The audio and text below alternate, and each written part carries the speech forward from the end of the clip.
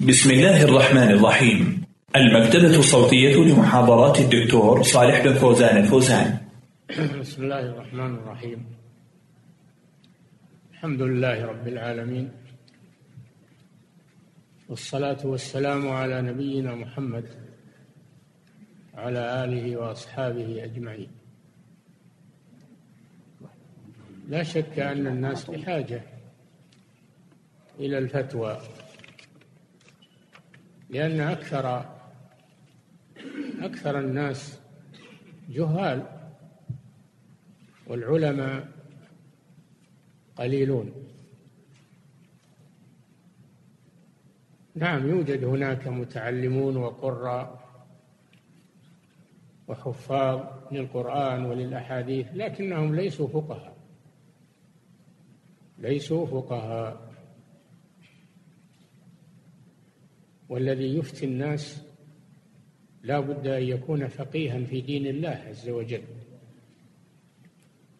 والفقه هو الفهم الذي يؤتيه الله من يشاء وهو الحكمة. قال تعالى ومن يؤتى الحكمة يؤتي الحكمة من يشاء ومن يؤتى الحكمة فقد أوتي خيرا كثيرا. الحكمة هي الفقه في دين الله عز وجل. ولا يؤتاها كل أحد. اختار الله لها من العلماء من يكون محلا للاختيار. إذن فلا بد من من الحاجة إلى الاستفتاء. قال تعالى فاسألوا أهل الذكر إن كنتم لا تعلمون. كانت سرية من صحابة رسول الله صلى الله عليه وسلم في الجهاد فأصاب أحدهم حجرا في رأسه فشجه صار فيه شجة في رأسه. ثم إنه في الليل احتلم صار عليه جنابة بالاحتلام فأشكل عليه هل يغتسل ويغسل رأسه ولو أن فيه الشجة. معلوم أن الماء إذا دخل في الجرح خطير. أشكل عليه فسأل من معه ماذا يعمل؟ فأفتوه بأن يغسل رأسه ويغتسل من الجنابة. فغسل الرجل رأسه واغتسل ودخل الماء في الشجة فمات. مات الرجل. فلما قدموا على النبي صلى الله عليه وسلم وأخبروه قال قتل قتلوه. قال قتلوه. قتلهم الله. ألا سألوا إذا لم يعلموا؟ فإنما شفاء العي السؤال. هذه واقعة وقعت مع صحابة وهم يقرؤون القرآن ويحفظون الأحاديث. لكن ليس عندهم فقه. الفقه خصوصية يؤتيه الله ليس الفقه بكثرة التعلم. أو كثرة الحفظ أو الذكاء. الفقه منة من الله جل وعلا يؤتيه من يشاء. ولهذا لما دعا النبي صلى الله عليه وسلم لابن عمه عبد الله بن عباس رضي الله عنه قال اللهم فقهه في الدين. اللهم فقهه في الدين وعلمه التأويل.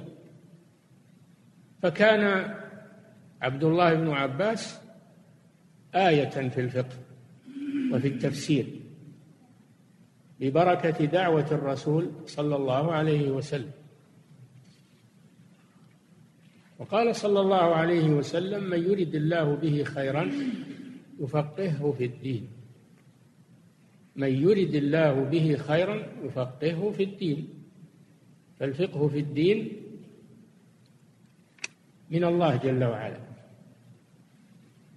يفقهه. الله هو الذي يفقهه في الدين. وهو علامة على أن الله أراد به خيرا. وفي آخر الزمان كما في الخبر يكثر القراء ويقل الفقهاء. يكثر القراء. ويقل الفقهاء. فالفقه عزيز وثمين ولا يوجد إلا في نوادر من الناس.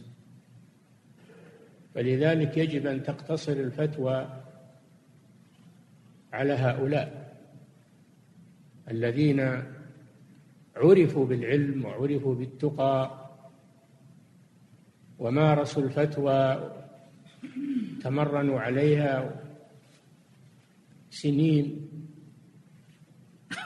والذين اختارهم ولي أمر المسلمين للإفتاء لأنه ما اختارهم إلا بعد مشاورات وبعد تحري يكون المرجع لهذا.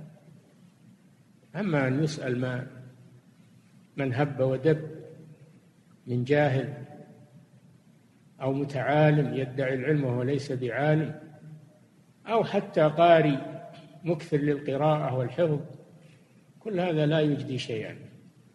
وربما وربما يسبب ضررا على الناس. ولهذا جاء في جاء في كلام بعض الحكماء قال يفسد البلد نصف فقيه يفسد يفسد البلد أربعة نصف فقيه ونصف طبيب ونصف متكلم ونصف نحوي. فالفقيه نصف الفقيه يفسد البلدان يفتي بغير علم فيفسد البلدان ونصف الطبيب يفسد الأبدان. يعالجه ما عنده علم بالطب فيفسد الأبدان ويترتب على علاجه وفيات أو أو أو يترتب على علاجه تعويضا في الجسم. وأما نصف المتكلم يعني علم المنطق فهذا يفسد الأديان لأنه يفسد العقائد.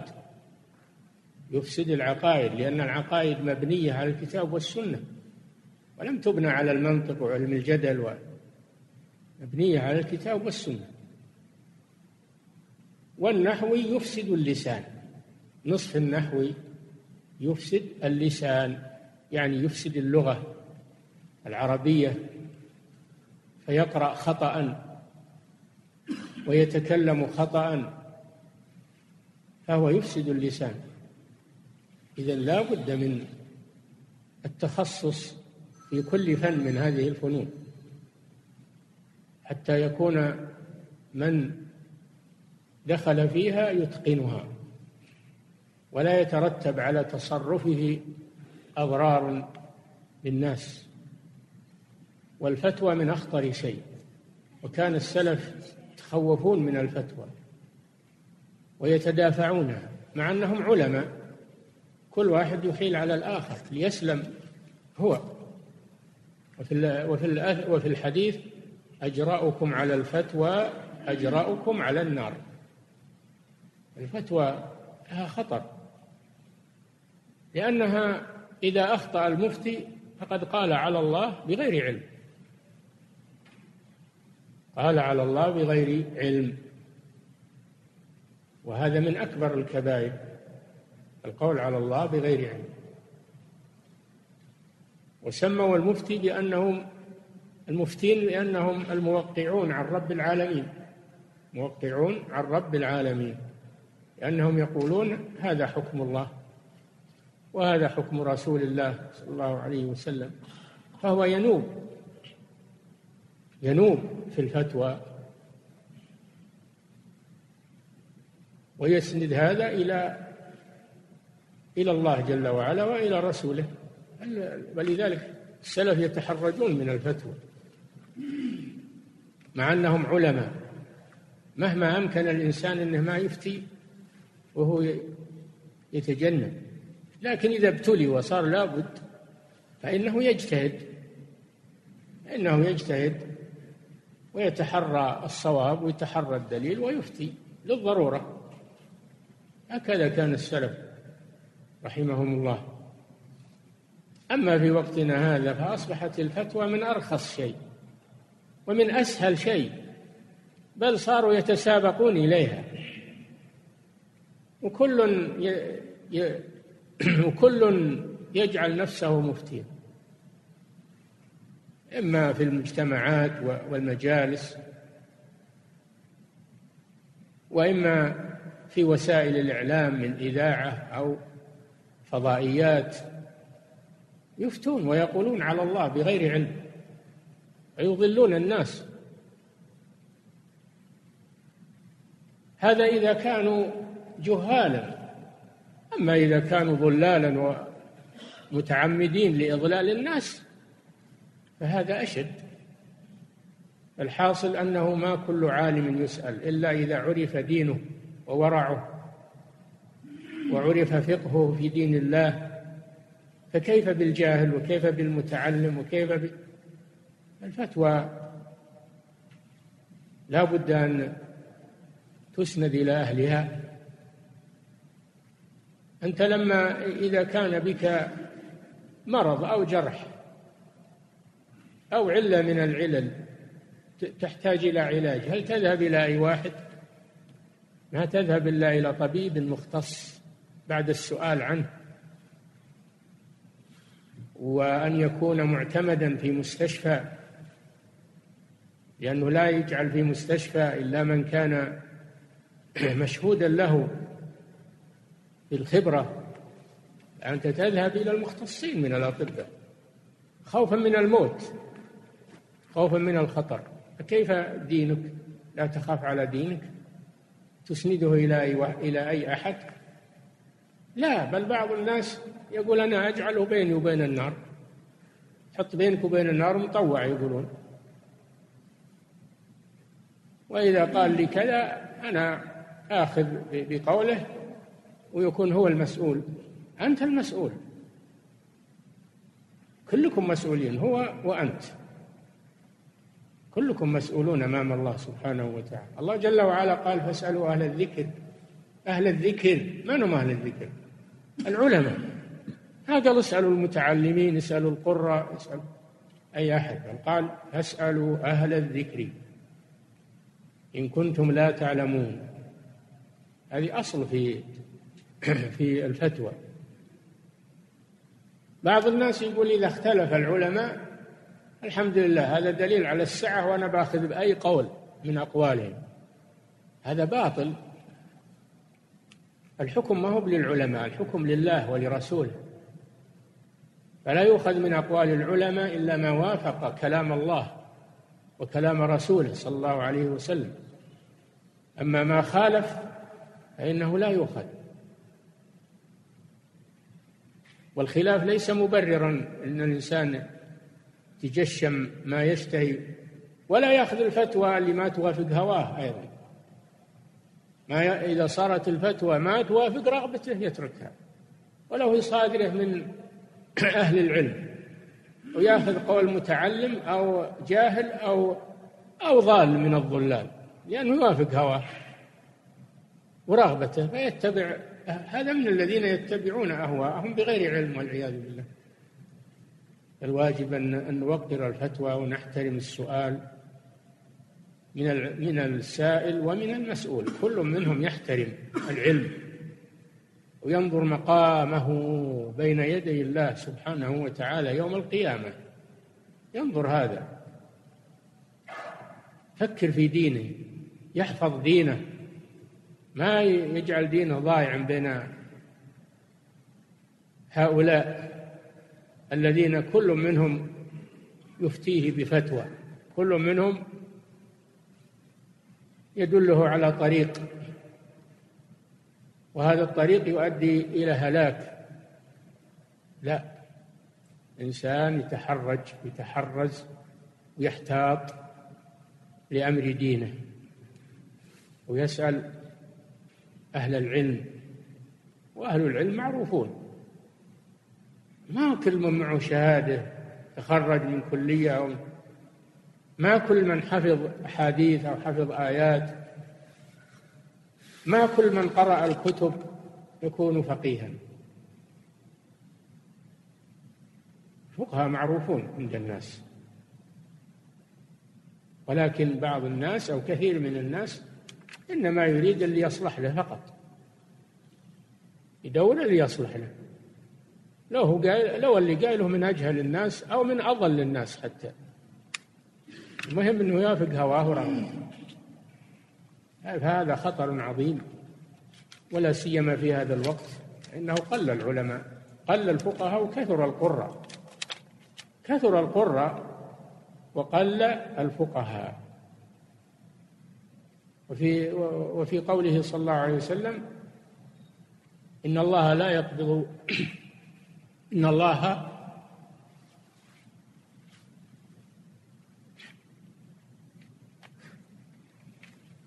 إن الله لا يقبض هذا العلم. لا يقبض هذا العلم انتزاعا من صدور الرجال.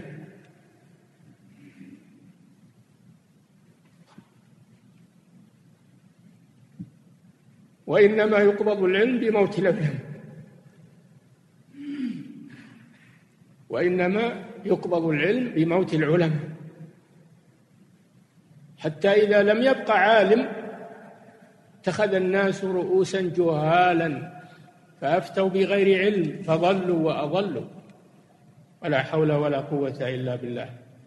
نخشى أن يكون بدأ هذا في وقتنا. فعلينا أن نأخذ الحذر والخوف والاحتياط وأن نختار أهل العلم وأهل الثقة حسب الإمكان. حسب حسب الإمكان وحسب الموجودين. أما العلماء السابقون والأحبار هؤلاء ذهبوا لكن خير الموجودين خير الموجودين. اتقوا الله ما استطعتم. نسأل الله أن يوفقنا وإياكم لمعرفة الحق والعمل به. صلى الله وسلم على نبينا محمد وعلى آله وصحبه. شكر الله لفضيلة شيخنا وجزاه الله خير الجزاء. صاحب الفضيلة هذا السائل يقول ما موقف المسلم من اختلاف فتاوى العلماء؟ كما أشرت لكم لا يتحير بين فتاوى العلماء بل عليه أن يسأل المعتمدين في الفتوى. والذين عرفوا بالفتوى وعرفوا بالعلم فيأخذ بقولهم ويترك ينبذ الأقوال الأخرى والفتاوى الثانية. اتركها. نعم. أحسن الله إليكم. وهذا السائل يقول ماذا يعمل المصلي عندما ينسى قراءة الفاتحة في أي ركعة من الركعات؟ إن كان إماما أو منفردا. إن كان إماما أو منفردا فإنها تبطل الركعة. التي ترك منها الفاتحة فيأتي بدلها. تكون التي تليها تقوم مقامها ويلغي الركعة التي ترك الفاتحة فيها. ويكمل صلاته ويسجد للسهو. أما إن كان مأموما فقراءة فقراءة الإمام تكفي عن قراءة المأموم. تكون صلاته صحيحة إن شاء الله. لأن الإمام قرأ الفاتحة وهو يستمع فتكفي. نعم. أحسن الله إليكم. وهذه سائلة تقول نحن نحن معشر الفتيات نريد منكم توجيها لأولياء الأمور من آباء وإخوة بأن يحرصوا على تزويج بناتهم وأخواتهم وعدم ترك الأمر حتى يأتي من يخطب وأنتم تعلمون أن الفتاة تستحي أن تقول أريد أن أتزوج كالولد. قال الله جل وعلا وأنكحوا الأيام منكم. الأيام يعني غير المزوجين من الذكور والإناث. الأيم غير المتزوج. الذي ليس عنده زوجة أو المرأة التي ليس لها زوج يجب على وليها أن يجتهد. في التماس الزوج الصالح لها. إن خطب يبادر بإجابته. قال صلى الله عليه وسلم إذا أتاكم من ترضون دينه وأمانته فزوجوه إلا تفعلوا تكن فتنة في الأرض وفساد كبير. وإن لم يخطب فإنه هو نفس الولي يعرض عليه. يعرض عليه أن يزوجه موليته فيختاره ويعرض عليه ذلك أن يزوجه موليته. لأنه هو المسؤول عن هذه الأنثى فيطلب لها الزوج الصالح ولو بأن يعرض هو على الكفر أن يتزوج بنته أو أخته. لئلا يضيع عمرها وشبابها وهي لم تتزوج ثم الرجال ينصرفون عنها وتبقى أيما. نعم. أحسن الله إليكم. وهذا السائل يقول ماذا يفعل من غش في سنين ماضية ثم تاب؟ أفتونا جزاكم الله خيرا. الغش جريمة كبرى. قال صلى الله عليه وسلم من غشنا فليس منا. قال صلى الله عليه وسلم الدين النصيحة. منا لمن يا رسول الله؟ قال لله ولكتابه ولرسوله ولأئمة المسلمين وعامتهم. فألغش حرام وكبيرة من كبائر الذنوب.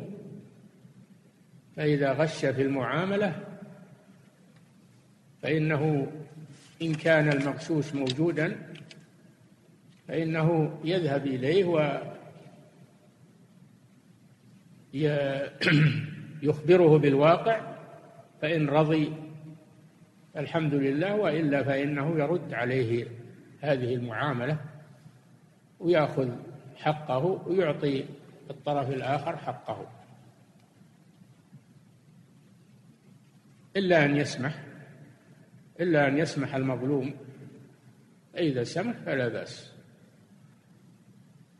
هذا إذا كان الغش في المعاملات وهو غش ضار. أما إذا كان لا يضر لا يضر الزبون أو المشتري لا يضره فإنه يستغفر الله ويتوب إليه ويطلب من من المغشوش أن يسمح عنه إن أمكن.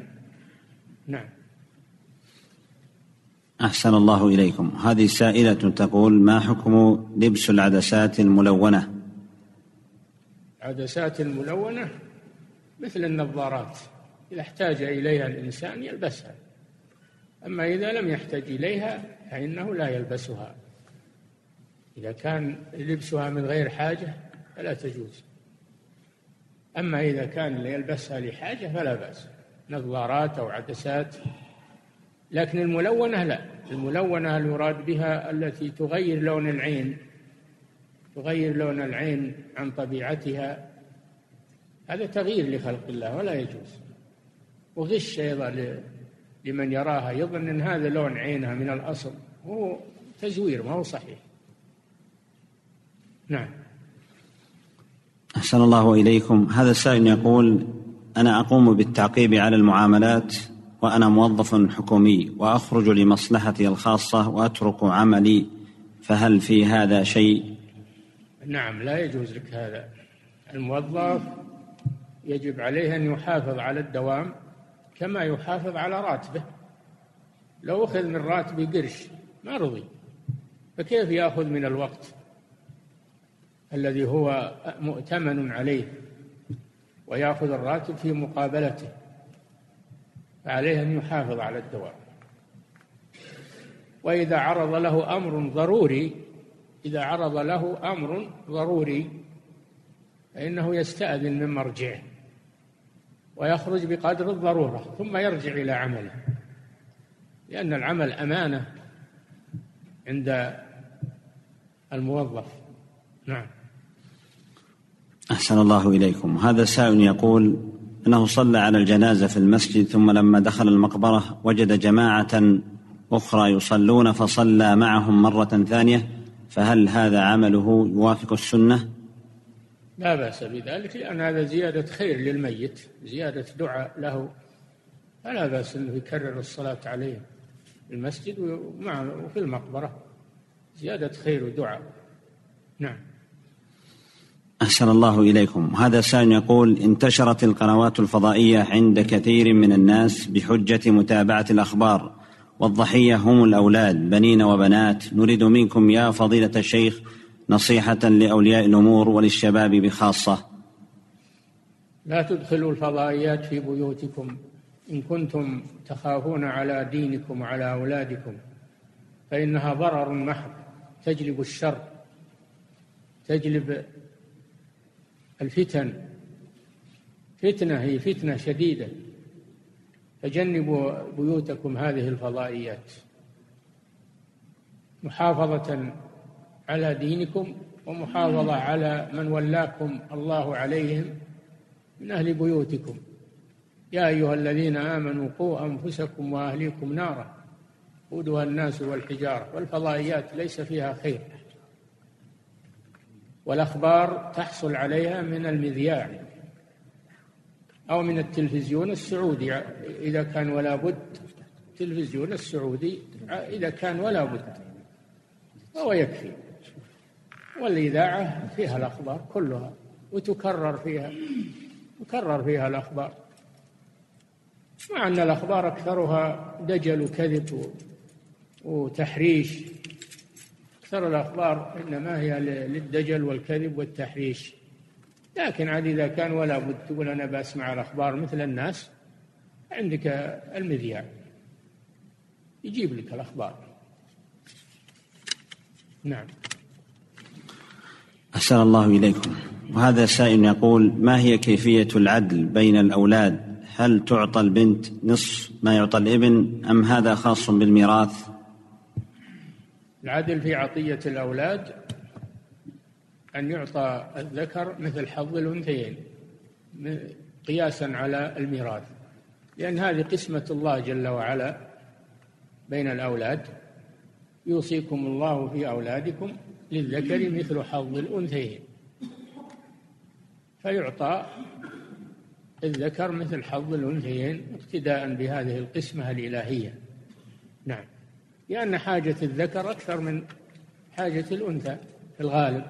نعم. أحسن الله إليكم وهذه سائلة تقول ما حكم الدف في وليمة الزواج وفي العزائم والاحتفالات؟ أفتونا جزاكم الله خيرا. الدف لإعلان الزواج لا بأس به بل هو سنة ويكون بيد النساء ما يكون بيد رجال أو مغنين أو مطربين. أو مطربات إنما يكون بيد النساء. ويغنين بالغناء العادي المجرد الذي ليس فيه تطريب أو تلحين. وإنما هو شعر نزيه تقوله الحاضرات أو بعضهن ولا يطلع صوتهن للرجال ولا يجعل مكبر صوت إنما يكون بين النساء. لأجل إعلان النكاح. قال صلى الله عليه وسلم أعلنوا هذا النكاح واضربوا عليه بالدف في رواية بالغربال والغربال هو الدف. وكانت النساء يعملن هذا على عهد النبي صلى الله عليه وسلم. ولا يزاد على هذا يجلب مطربين أو مطربات أو تسجيلات أو مكرهونات كبرات صوت أو أو يؤتى بموسيقى. هذا حرام كله حرام هذا. ما هو هذا إعلان للنكاح؟ هذا لهو ولعب. نعم. الإعلان يحصل بضرب الدف فقط. بحيث أن الجيران والبعيدين يسمعون ضرب الدف. يقولون هذا زواج فلان أو فلان نعم. نعم. أحسن الله إليكم. هذا سائل يقول سؤال عن القصر والجمع في السفر المباح للنزهة. وما حكم من خالف المصلين بالإتمام؟ هذا يسأل عن القصر والجمع في السفر المباح كالنزهة وغيرها وما حكم يقول من خالف المصلين بالإتمام. بالإتمام؟ يعني أتم الصلاة. الإتمام جائز المسافر السنة له والأفضل أنه يقصر ويجمع إذا احتاج إلى الجمع وإذا أنه لم يجمع ولم يقصر فهذا جائز هذا هو الأصل لا بأس بذلك. ولا ينبغي الاختلاف في هذا والشقاق في هذا. نعم. أحسن الله إليكم. وهذا السائل يقول آه، متى يبدأ متى تبدأ التعزية ومتى تنتهي؟ تبدأ من وفاة الميت من خروج روح الميت. تنتهي ثلاثة أيام إلى ثلاثة أيام هذا وقت التعزية. لأنه بعد الثلاثة ينسون مصيبتهم فأنت لا تذكرهم إياها. بعد ثلاثة أيام ينسونها. نعم. أحسن الله إليكم. وهذا سائل يقول هل أنصح من ترك الغناء بسماع الأناشيد لعلها تكون مدخلا لهدايته؟ لا الأناشيد ما هي مدخل للهداية. هي غنى هي نوع من الغنى يتوب إلى الله ويترك الغنى بجميعه أناشيد أو غير أناشيد. نعم. يسمع القرآن. الحمد لله. الآن الصحف آه، الآن المصاحف المرتلة كثيرة وبأصوات جيدة وجميلة وتجويد طيب فالذي يبي يستمع يستمع القرآن يستمع المحاضرات يسمع الدروس يسمع شيئا يفيده. نعم.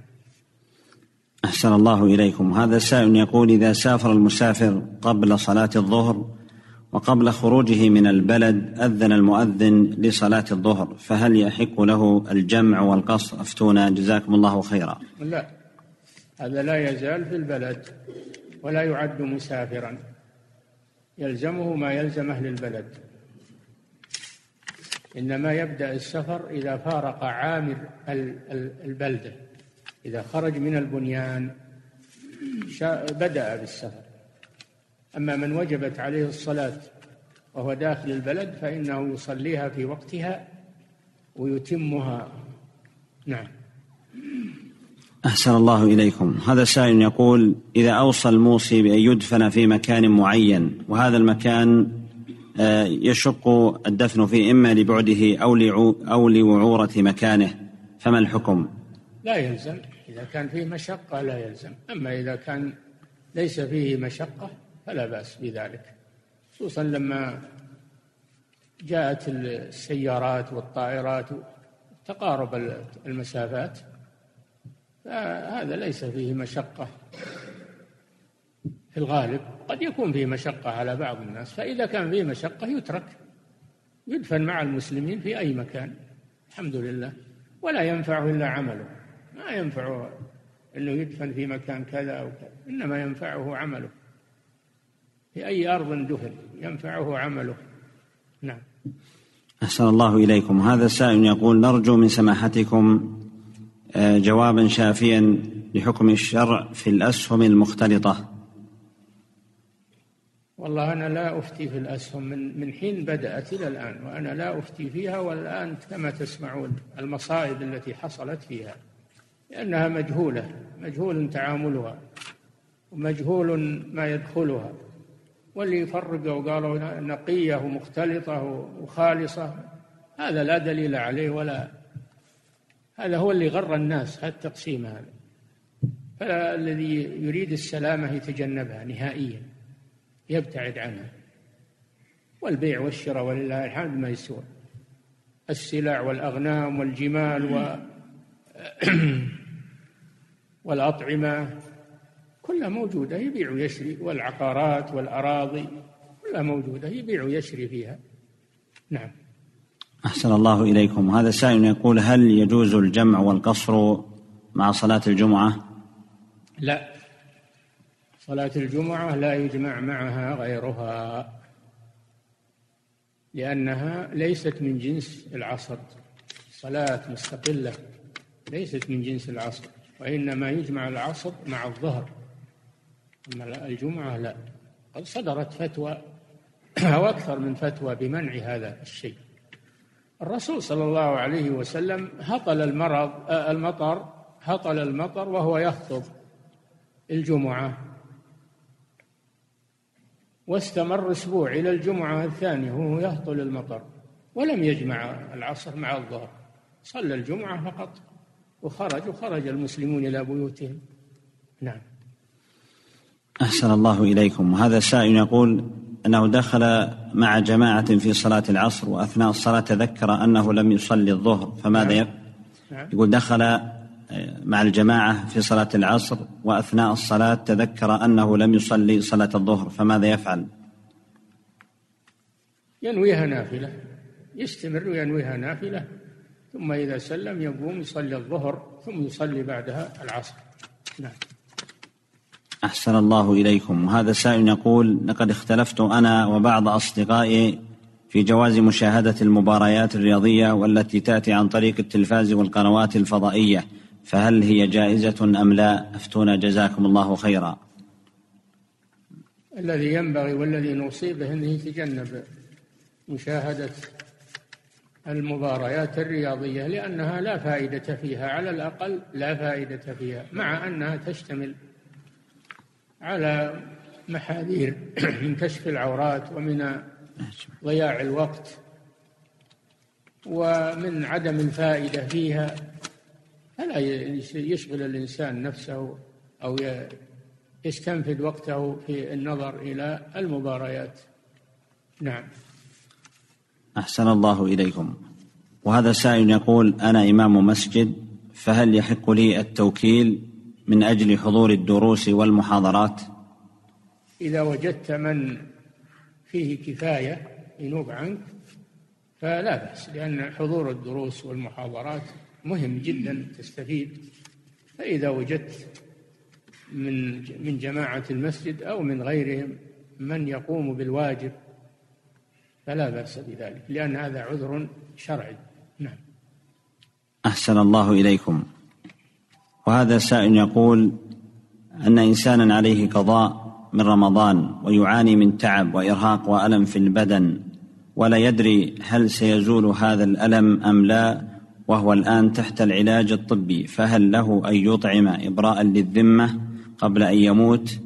وما مقدار الإطعام؟ وهل يجوز أن يسلم ذلك لجمعية البر؟ هذا يختلف باختلاف نوعية المرض. إذا كان المرض يرجى شفاؤه فإنه يؤجل القضاء إلى أن يشفيه الله ولو تأخر. يؤجل القضاء إلى أن يشفيه الله ويقضي ولو تأخر ولو طالت المدة. ما جعل عليكم في الدين من حرج. ومن كان منكم مريضا أو على سفر فعدة من أيام أخرى ولم يحدد سبحانه وتعالى الوقت الذي يقضى فيه. أما إذا كان المرض لا يرجى له شفاء وهو ما يسمى بالمرض المزمن ولا يستطيع معه الصيام لا يرجى له شفاء لأنه مرض مزمن ولا يستطيع معه الصيام فهذا يطعم.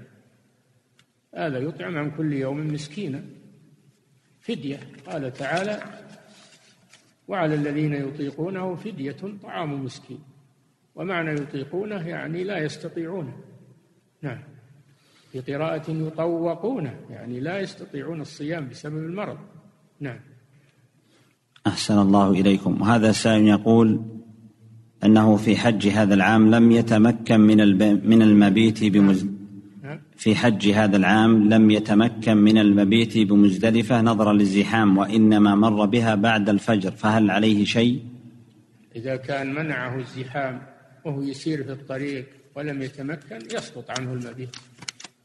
يسقط عنه المبيت لأنه ما تركه باختياره وإنما عجز عن الوصول. هو معفو عنه الحمد لله. نعم. أحسن الله إليكم. وهذا السائل يقول إذا كان أحد أقربائي ممن يجاهر بالمعصية ولا ينفعه الهجر فهل آثم في هجره بعد أن نصحته وبينت له سوء عمله؟ الهجر فيه تفصيل إن كان يؤثر في المهجور ويتوب إلى الله إذا هجرته فيجب الهجر لأنه وسيلة إلى ترك المعصية. أما إذا كان الهجر لا يؤثر فيه بل ربما يزيده شرا فأنت لا تهجره ولكن مع المناصحة ولا تيأس من هدايته. تكرر المناصحة له ولا تهجره لأن هجره لا يزيده إلا شرا. نعم. أحسن الله إليكم. وهذا السائل يقول في القنوات الفضائية قنوات مخصصة لتعليم السحر وكيفيته وهناك قنوات أخرى مخصصة لعلاج المشاهد إن كان مصابا بالسحر فهل يجوز مشاهدة تلك القنوات وسؤال الساحر من خلالها؟ وسؤال السحرة من خلالها؟ هذا أمر خطير جدا. السحر كفر تعلمه وتعليمه والعلاج به كله كفر. لا يجوز لا في القنوات ولا في غير القنوات. هذه قنوات قنوات شريرة تعلم الكفر تعلم الشر تفسد عقائد المسلمين فيجب على المسلمين أن يحاربوها وأن يجتنبوها وأن لا ينظروا فيها ولا يسألوا السحرة. فإن سألوهم وصدقوهم دخلوا في قوله صلى الله عليه وسلم من أتى كاهنا من أتى كاهنا فسأله فصدقه فقد كفر بما أنزل على محمد صلى الله عليه وسلم. فيجب الحذر منها والابتعاد عنها. وهذا ما يريده الأعداء. يريدون أن يفسدوا دين المسلمين بهذه الوسائل الخبيثة التي ارتبط بها بعض الناس بحجة أنها بحجة أنه يبي يطلع يبي يشوف. ما يجوز هذا. لا تطلع على الشر وعلى الكفر وعلى ابتعد عنها. أيضا أنت لك أولاد ولك نساء وبيتك فيه رعية تحت رعايتك اتق الله عز وجل. لا تدخل هذه الفضائيات في بيتك. وشرها وأخطرها السحريات والعياذ بالله. نعم. أحسن الله إليكم. هذا سائل يقول من سلم في صلاة الظهر عن ثلاث ركعات ثم تذكر بعد السلام أنه لم يصلي الرابعة فقام للرابعة فهل يكبر؟ لا ما يقوم. ينحرف إلى القبلة وهو جالس. ينحرف إلى القبلة وهو جالس ثم يقوم بدون تكبير لأنه كبر يوم يقوم من السجود. كبر تكبيرة الانتقال. فيقوم للرابعة بدون تكبير. لأن التكبير أتى بها يوم يرفع من السجود ويأتي بالرابعة ويجلس التشهد الأخير ثم يسلم ويسجد للسهو. نعم. أحسن الله إليكم. وهذا السائل يقول ما حكم حلق بعض اللحية بقصد التحسين والترتيب؟ لأنه لو لو كبر للقيام في هذه الصورة كرر التكبير كرر الواجب في الصلاة ولا يكرر الواجب. يكفي مرة. نعم. أحسن الله إليكم. هذا السائل يقول ما حكم أخذ شيء من اللحية بقصد التحسين والتهذيب؟ إذا أخذ شيئا منها تجرى وأخذها كلها في المستقبل أو أخذ معظمها. والرسول صلى الله عليه وسلم أمر بإعفائها أي تركها وإرسالها وإرخائها وإكرامها. فلا يؤخذ منها شيء. ولا يفتح الإنسان هذا الباب على نفسه.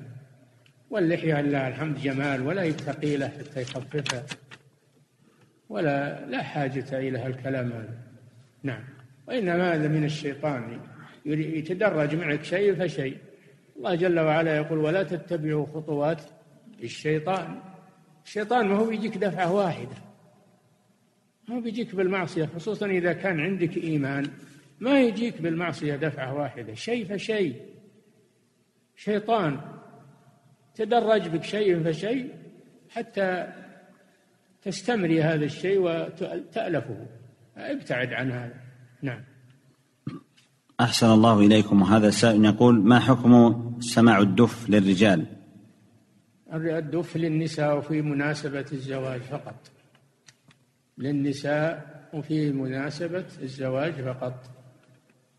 لأنه من آلات الله لكن رخص فيه لمناسبة الزواج تقتصر الرخصة على محلها ولا يزاد فيها. نعم. أحسن الله إليكم. وهذا سائل يقول عنده في البيت طيور تسكن في الشبابيك وتؤذيه في أصواتها فهل له أن يطردها أو يقتلها؟ هل له؟ أن يطردها أو يقتلها؟ يقتلها. يقتل هذه الطيور. لا يجيب الشبك الدقيق هذا الشخال ويخليه يثبته على على الدريشة أو الفرجة يثبته من خارج ولا يصير للطيور مكان. هذا الذي يعمله الناس الآن. نعم. أحسن الله إليكم. وهذا سائل يقول إنني عندما أستمع للأخبار وخاصة عن العراق وغيرها أصاب بإحباط شديد. وإذا تركت الأخبار واتجهت لتلاوة القرآن تهدأ نفسي وأعيش حياة مستقرة. فهل ترك سماع الأخبار يعد ممن لم يهتم بأمور المسلمين؟ هذا علاج طيب. إذا كنت ترتاح للقرآن فاستمع للقرآن ولا تسمع للأخبار التي تؤثر عليك. وليس هذا من اهتمام بأمور المسلمين. هذا أنت وش تعمل أنت. وش تبي تعمل بالعراق إذا سمعت. هل تبي تحل مشكلتهم؟ تبي سامعين شيء لكن تتأثر. ويضيق عليك. ابتعد عن هذا. ابتعد عن هذا. وأما من لم يهتم بأمر المسلمين هذا ليس حديثا صحيحا. هذا فيه مقال. حديث ضعيف. نعم.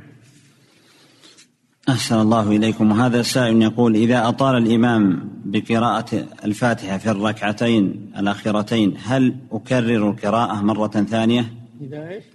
إذا أطال الإمام قراءة الفاتحة في الركعتين الأخيرتين هل أكرر القراءة مرة ثانية؟ لا الركن لا يكرر لا تكرر الفاتحة في ركعة واحدة لا يكرر إما تسكت وإلا يعني تأتي بذكر تسبيح أو تهليل في الصلاة لا بأس. نعم. أو أو تدعو الله عز وجل بالمغفرة والرحمة. نعم.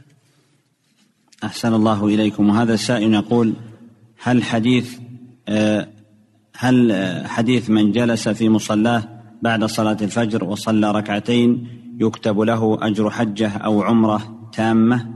هل هذا الحديث صحيح أم فيه مقال؟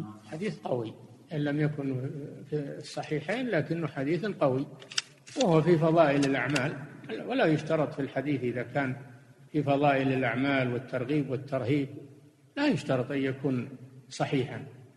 ولو كان مثلا حديثا ضعيفا لأن الأذكار جاءت الأدلة الصحيحة بالترغيب فيها. والله جل وعلا يقول واذكروا الله كثيرا لعلكم تفلحون.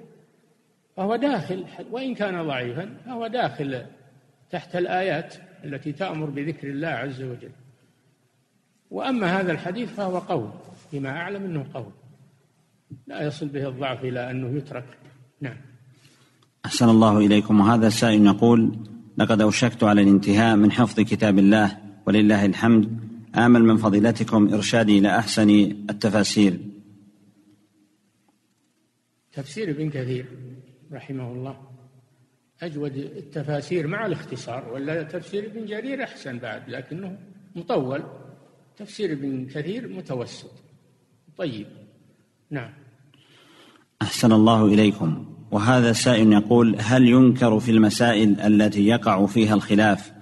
بمعنى أوضح الصور ذوات الأرواح التي تنشر في الإعلانات في الشوارع والطرقات هل يجوز أن أطمسها؟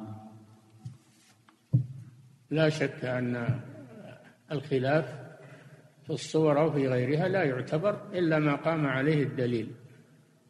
أما مجرد الأقوال والآراء فلا يلتفت إليها إذا كان ليس لها دليل. والدليل يدل على تحريم التصوير بجميع أنواعه تحريم استعماله وإذا وما تقدر عليه. الرسول صلى الله عليه وسلم قال ولا لا تدع صورة إلا طمستها الذي تقدر عليه بيتك ولا في سيارتك ولا في آه، مقدورك تطمسه. أما إنك تبي تتبع الصور كلها اللي بالشوارع وبل ما ما تستطيع هذا. ما تستطيع هذا. لكن عليك بما تستطيع والذي هو تحت ملكك ومقدرتك. نعم. أحسن الله إليكم. هذا السائل يقول ما حكم الرمي قبل الزوال في آخر يوم من أيام التشريق؟ الرمي إيش؟ الرمي قبل الزوال في آخر يوم من أيام التشريق. النبي صلى الله عليه وسلم حج بالمسلمين ومعه مئة ألف مئة ألف أو يزيدون من الصحابة ولم يرمي في أيام التشريق إلا بعد الزوال. وقال خذوا عني مناسككم جميع أيام التشريق الثلاثة لأنه تأخر صلى الله عليه وسلم إلى اليوم الثالث عشر. وما رمى إلا بعد الزوال. ولا رخص لأحد أن يرمي قبل الزوال. فهذا هو الواجب على الحاج الذي يريد أن يكمل حجه على الوجه الصحيح. إنه ما يرمي إلا بعد الزوال. لا يجوز الرمي قبل الزوال. إلا في يوم العيد. يوم العيد جمرة العقبة ترمى من الصباح. وقد بين الرسول صلى الله عليه وسلم هذا رماها لما وصل إلى منى بعد طلوع الشمس رمى جمرة العقبة. وأما الجمار الثلاث في أيام التشريق فكان صلى الله عليه وسلم يتأخر هو وأصحابه إلى أن تزول الشمس ثم يرميها ثم يرجع ويصلي الظهر عليه الصلاة والسلام. وقال لنا خذوا عني مناسككم أي تعلموا مني كيف تؤدون المناسك اقتدوا بفعلي. يجي واحد يقول للناس ارموا قبل الزوال هل هو رسول هذا؟ هل يشاق الرسول صلى الله عليه وسلم؟ هل يحدث شيء ما فعله الرسول ولا أمر به ولا أقر عليه أحدا؟ لا هذا هذا مثل ما قلت لكم في بداية الكلام الأقوال لو تتبعناها ما بقي عندنا دين. وفي الحديث وفي الحكمة أو قول بعض العلماء يقول من تتبع الرخص تزندق. تتبع الرخص تزندق يعني يخرج من الدين. نعم. أحسن الله إليكم. وهذه سائلة تقول هل هل للمرأة أن تطلب الطلاق من زوجها بسبب أنه سوف يتزوج عليها بأخرى؟ الحمد لله إذا تزوج عليها أخرى هذا من فضل الله. وقد أباح الله له ذلك. لكن تطلب الطلاق إذا إذا أخل بحقها إذا لم يعدل. وأخل بحقها فلها أن تطلب الطلاق. أما إذا كان تزوج أخرى وعدل بينهن وقام بالواجب فلا يجوز لها أن تطلب الطلاق. قال صلى الله عليه وسلم أيما امرأة سألت زوجها الطلاق من غير ما بأس فحرام عليها رائحة الجنة. لا يجوز أن تسأل الطلاق بمجرد أنه أخذ ما أباح الله له. هذا مباح الحمد لله. بل قد يكون سنة. إنما لها الحق لو أنه لم يعطيها حقها الذي أوجبها الله أوجبه الله لها. نعم.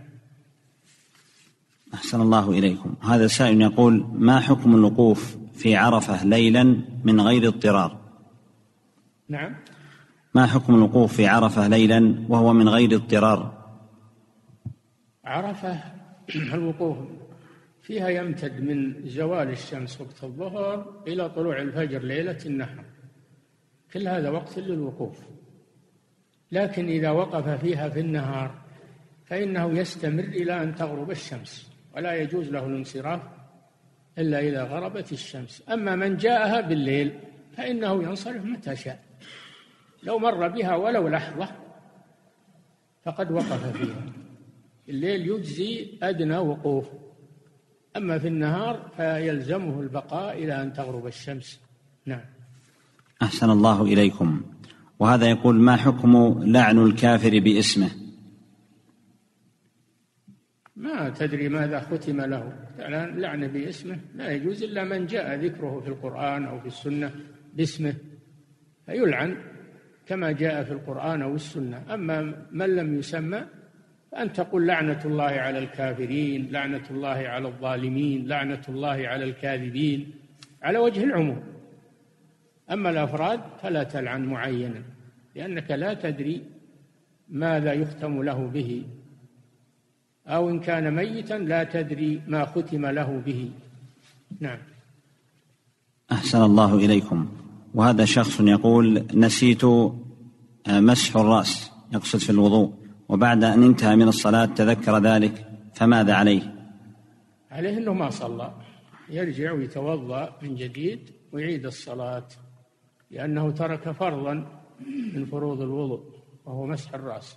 نعم. أحسن الله إليكم. هذا يقول ظاهرة البغضاء والحسد والحقد انتشرت بين الناس فما توجيهكم حفظكم الله؟ توجيه ما وجه الله به.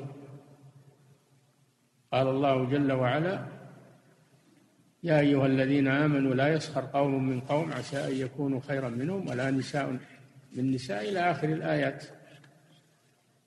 فأمر الله جل وعلا بالأخوة. قال إنما المؤمنون إخوة. فأصلحوا بين أخويكم. وقال صلى الله عليه وسلم لا تدخلوا الجنة حتى تحابوا. لا تدخلوا الجنة حتى تؤمنوا. ولا تؤمنوا حتى تحابوا. ألا أدلكم على شيء إذا فعلتموه تحاببتم؟ أفشوا السلام بينكم. فالمؤمنون إخوة والحسد كبيرة من كبائر الذنوب. أم يحسدون الناس على ما آتاهم الله من فضله؟ ولا تتمنوا ما فضل الله به بعضكم على بعض. للرجال نصيب مما اكتسبوا وللنساء نصيب مما اكتسبن. واسألوا الله من فضله. اسأل الله إن الله يعطيك مثل ما أعطاهم. الحسد هو تمني زوال النعمة عن المحسود. أما أن تتمنى مثلها أو تسأل مثلها من الله هذا محمود طيب. نعم. أحسن الله إليكم. هذا سائل يقول ما حكم تتبع الرخص؟ لا يجوز تتبع الرخص. لا يجوز تتبع الرخص. الرخصة يؤخذ بها عند الضرورة. يؤخذ بها عند الضرورة. إذا احتجت إليها مثل أكل الميتة. مثل أكل الميتة. هذه رخصة. رخص الله بها إذا خفت من الهلاك من الجوع. وتقتصر على وقت على ما يبقي عليك حياتك فقط. ولا تستمر بأكل الميتة. إنما تأخذ منها قدر الضرورة. ما يبقي عليك حياتك. الرخص يقتصر فيها على مواقعها ولا يزاد فيها ولا تنقل إلى محل آخر لأنها رخصة مستثنات استثناء حالة استثنائية كما يقولون ما هي بدائمة. نعم. نعم. صاحب الفضيلة هذا السائل يقول ما معنى قول الله سبحانه وتعالى والذين هم عن اللغو معرضون؟ ما هو تعريف اللغو؟ وهل ما يدور في بعض المجالس من اللغو؟ أفتونا جزاكم الله خيرا. اللغو معناه الباطل. الباطل من الأقوال والأفعال. وكل باطل فإنه هو اللغو. سمي لغوا لأنه ملغى غير معتبر. فالمؤمنون قد أفلح المؤمنون الذين هم في صلاتهم خاشعون والذين هم عن اللغو معرضون. تجنبون اللغو مجالس اللغو سماع اللغو سماع الأغاني والم هذه من اللغو. الأغاني والمزامير والأقوال الباطلة كل هذا من اللغو. الأفعال المحرمة كلها من اللغو. الله جل وعلا أثنى على طائفة من أهل الكتاب فقال عنهم وإذا سمعوا اللغو أعرضوا عنه. وقالوا لنا أعمالنا ولكم أعمالكم. سلام عليكم. سلام يعني مفارقة. أو سلام تحية سلام مفارقة. سلام عليكم لا نبتغي الجاهلين. فالمسلم يتجنب اللغو ومنه ما ما يذاع وما ينشر في الفضائية كل هذا من اللغو كله من الباطل. المؤمن يعرض عنه يتجنب ولا ينظر فيه ولا يستمع له. نعم. ولا يحضر المجالس التي فيها لغو. قال تعالى وقد نزل عليكم في الكتاب أن إذا سمعتم آيات الله يستهزأ بها ويستهزأ بها وأن إذا سمعتم آيات الله يكفر بها ويستهزأ بها فلا تقعدوا معهم حتى يخوضوا في حديث غيره. إنكم إذا مثلهم. إن الله جامع المنافقين والكافرين في جهنم جميعا. وقال لنبيه وإذا رأيت الذين يخوضون في آياتنا فأعرض عنهم حتى يخوضوا في حديث غيره. وإما ينسينك الشيطان فلا تقعد بعد الذكرى مع القوم الظالمين. لا يجوز حضور مجالس اللهو والباطل والمعاصي. لا يجوز للإنسان أن يحضرها ويجلس فيها. نعم. أحسن الله إليكم. وهذا يقول أنه مسافر وأراد أن يصلي صلاة العشاء مع إمام يصلي المغرب. نعم. مسافر أراد أن يصلي صلاة العشاء مع إمام يصلي المغرب. فلما قام الإمام إلى الركعة الثالثة لم يقم معه وإنما سلم ما حكم عمله هذا. هذا لا يجوز. أول صلاة العشاء خلف المغرب تختلف صورة الصلاتين هذه ثلاثية وهذه رباعية؟ تختلف صورة الصلاتين فلا يصلي العشاء خلف المغرب. ثانيا لا يجوز له أن يقصر الصلاة خلف إمام لا يقصر. لا يجوز له أن يقصر الصلاة خلف إمام لا يقصر ولو كان مسافرا. فيتم مع الإمام. قال صلى الله عليه وسلم إنما جعل الإمام ليؤتم به يقتدى به ولا تخالفه. فلا تختلفوا عليه. قال صلى الله عليه وسلم إنما جعل الإمام ليؤتم به. فلا تختلفوا عليه. فأنت تتابع الإمام ولا ت... ولا تخالفه. نعم. أحسن الله إليكم. هذا يقول بعض الدعاة وطلبة العلم يقولون عند التحدث عن الشيعة والرافضة إنهم إخواننا. هل يجوز أن نقول ذلك وما الواجب في ذلك إن لم يصل؟ نبرأ إلى الله منهم. ونبرأ إلى الله من هذا القول. ليسوا إخواننا. والله ليسوا إخواننا بل هم إخوان الشيطان. لأنهم لأنهم يسبون أم المؤمنين عائشة رضي الله عنها زوج النبي صلى الله عليه وسلم التي اختارها الله لنبيه صلى الله عليه وسلم الصديقة بنت الصديق ويكفرون أبا بكر وعمر ويلعنونهما. ويكفرون الصحابة عموما إلا أهل البيت علي بن أبي طالب رضي الله عنه مع أنهم هم أعدى علي بن أبي طالب. علي يبرأ منهم عليه رضي الله عنه بريء منهم. علي إمامنا وليس إمامهم إمام أهل السنة وليس إمام الرافضة الخبثاء. فنحن نبرأ إلى الله منهم وليسوا إخواننا. ومن قال إنهم إخوان فليتب إلى الله ويستغفر الله. والله جل وعلا أوجب علينا البراءة من أهل الضلال وموالاة أهل الإيمان. نعم. أحسن الله إليكم. هذا سائل يقول ما حكم من صلى بثوب عليه بقعة يسيرة من الدم؟ يغسل الدم والدم هذا إذا كان نجسا إذا كان الدم من من لحم مباح شرى لحم واللحم فيه دم وصار بثوب هذا لا بأس يتسامح فيه لأنه يجوز أكل اللحم بما فيه من الدم هذا مسموح عنه. أما إذا كان دم آدمي أو دم حيوان غير مأكول أو من خرج من من خرج من الذبيحة وقت الذبح دم المسفوح الذي يشخب من الأوداج هذا نجس. فلا فإذا أصاب الثوب يجب غسله. ولما سألت امرأة النبي صلى الله عليه وسلم عن دم الحيض يصيب الثوب قال تحكه ثم تقرصه بالماء ثم تنضحه يعني تغسل الدم.